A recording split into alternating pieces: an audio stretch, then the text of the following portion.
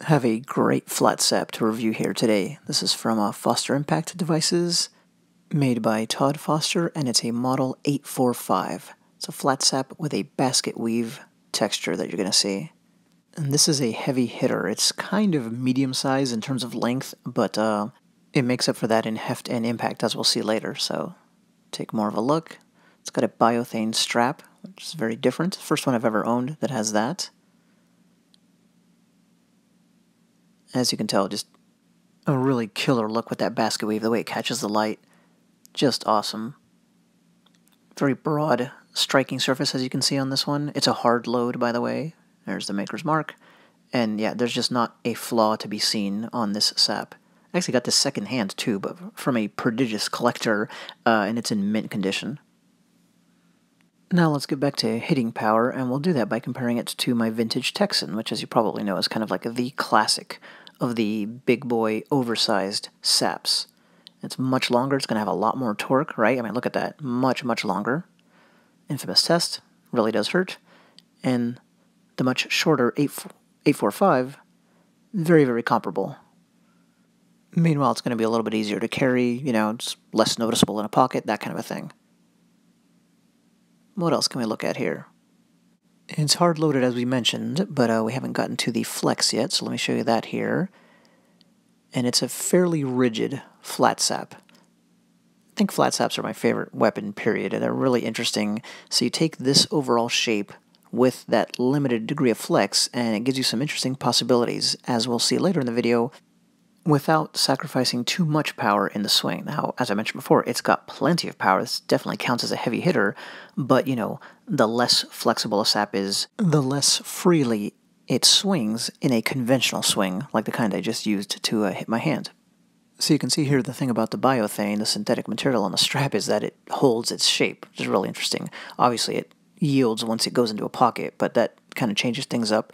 Uh, you can see in a lot of my antiques how the leather straps over time, they just completely flatten out. Don't get me wrong, I'm a traditionalist. Obviously, I love the antiques, uh, so I love the leather straps. Uh, but this is this does make sense. It keeps its shape. It's easier to slip your hand into. And importantly for me, though, it didn't have like a it doesn't have like a cheesy synthetic feel. Like it just it feels good, uh, not like leather, but something like that. Anyway, here's one other view. Yep, absolutely love this thing really broad-headed, like paddle-shape saps like this have been a thing for a very long time, uh, but they've never been the predominant outline, which I think is interesting. We'll get into that when we get it to use cases later. So here's how it sits in the pocket, and I'll show you a quick draw that can be had. So you see how the biothane is compressed, but then expands back out outside of the pocket. Very easy slip of the finger. Look completely innocuous when you do it.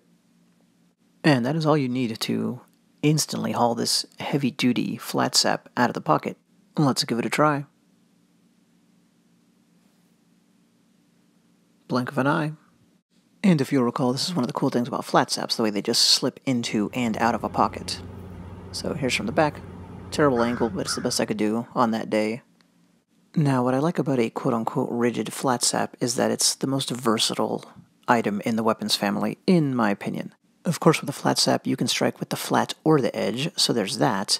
But with a rigid one, you can also, depending on you know the size of your hand relative to, relative to the weapon, grab it like this. And now you've got several striking features you can take advantage of while sacrificing the conventional swing. So let's experiment with that. Hammer fist, Haito, you know, kind of a hook, and thrust. And then, as you know, what I love is, I mean, just by changing the grip, you kind of change weapons, really. I mean, you really, really do, functionally. Because now I've got that, a flat versus an edge strike. So slapping and slashing versus sticking, like that. The hook seen here and the thrust feel really good with this one because the weapon can't slip down your hand. Here's kind of typical chopping motion. That also feels great with this one the weapons version of that empty hand strike right there. And right here, just couldn't resist finding a uh, snippet of a movement from Seipai Kata, one of the classical Okinawan forms I do. Anyway, yeah, this thing is uh, great to look at, great to hold and handle. It's a beast for sure. Now, in theory, an extra wide head like that distributes the force of the impact even more, um, but it doesn't feel like it hurts any less when you try it on yourself or feel the power against a heavy bag. But that was, of course, one of the calling cards of flat saps, that broadening effect. So, you know, here's how you might strike down. I'm not flexing it all the way, but right. So you got flat versus edge and a jab here, just to show you how thin that profile really is. So it's a serious reduction of striking surface.